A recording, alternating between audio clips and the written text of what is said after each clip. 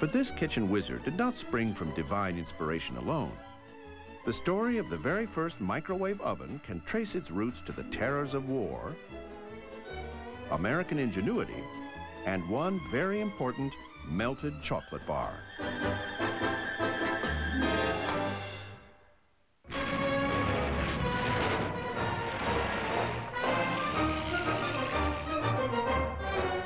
The microwave developed from military technology. The wartime duty of microwave radiation was to be the magic behind radar. Radar is like a searchlight, so pulses go out to the object, maybe five miles away, and then they're reflected back to the receiver, and that measures the distance. Radar was perfected for use against the Nazis in the Second World War. It allowed the Allies to spot the enemy long before the enemy could reach them. In America, the main manufacturer of radar components during World War II was Massachusetts Raytheon Corporation. We supplied about 80% of the microwave magnetrons. That's the tube that makes radar operate. In early 1945, Raytheon engineer Percy Spencer was hard at work in the lab to improve these glorious machines.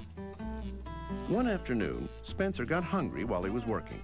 He reached into his pocket for a chocolate bar and was flabbergasted to pull out a gooey mess. When they stood in front of high-powered radar, they'd get warm. So that was something that was in the back of his mind. But when the chocolate bar melted, flash, the light bulb went on. Spencer was inspired.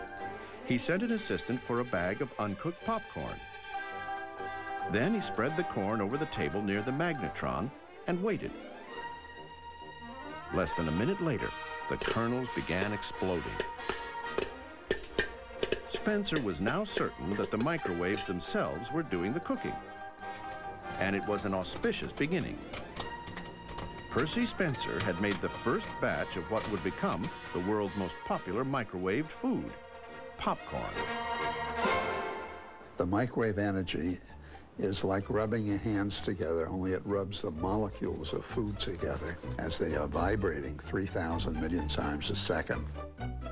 Spencer could see that he was on the verge of a revolution.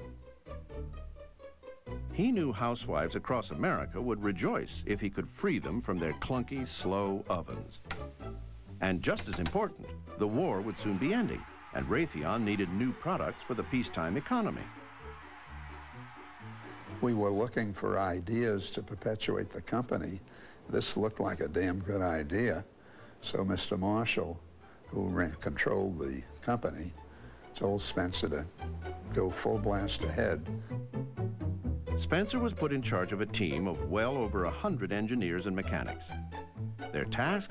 To overhaul this military technology into a household appliance. The idea of uh, encapsulating it in a box uh, came afterwards. Uh, in fact, the original patent shows a conveyor belt going in front of a, an open-air magnetron. But the final design looked very much like a conventional oven, with one big difference.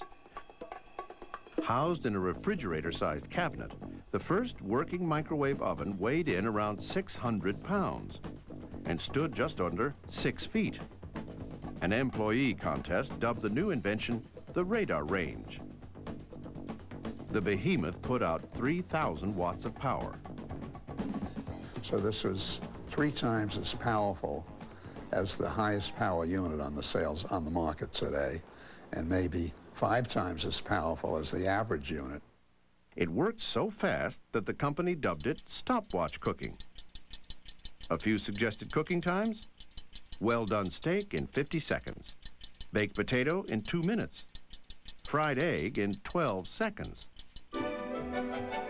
Raytheon's chief executive, Lawrence Marshall, told his wife about it. Mrs. Marshall wanted to try out the new invention, so the CEO brought it home. Special plumbing had to be installed to service the water-cooled magnetron, but the family was thrilled. Two years later, in 1947, Raytheon marketed a commercial model. It was essentially the same as the prototype, except more compact. It sold for $3,000, roughly equal to the average yearly household income at the time. The Wonder Cooker was just too expensive for Joe and Jane Average. So it was targeted to railroad dining cars, restaurants, and shipboard kitchens. But they weren't selling like hotcakes, even though they could make hotcakes in seconds. It took many years for us to realize that you didn't need a radar quality magnetron to heat food. About 20 years, in fact. After Raytheon bought the Amana Corporation in 1965, the Radarange project was brought back to the front burner.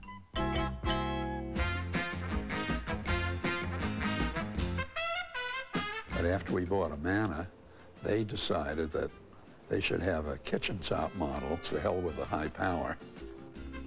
Amana created a smaller, less powerful countertop model that cost only $500. The father of the microwave oven, Percy Spencer, died in 1970. But he did live long enough to see the sales of his invention take off. By the end of the 70s, sales of microwave ovens had outpaced conventional ranges. No kitchen was complete without a compact, convenient microwave oven. Including the kitchen of Raytheon CEO Lawrence Marshall. For 30 years, that first microwave had been humming in Mrs. Marshall's kitchen. Finally, in 1976, she asked for a replacement. And she said that uh, there were many advanced models out. Could I get her one of the new Amana models? Norman Krim replaced Mrs. Marshall's microwave and brought the original one back to Raytheon. He understood the historical significance of the oven. People have said that this is the first important improvement in cooking since the caveman was cooking on an open fire.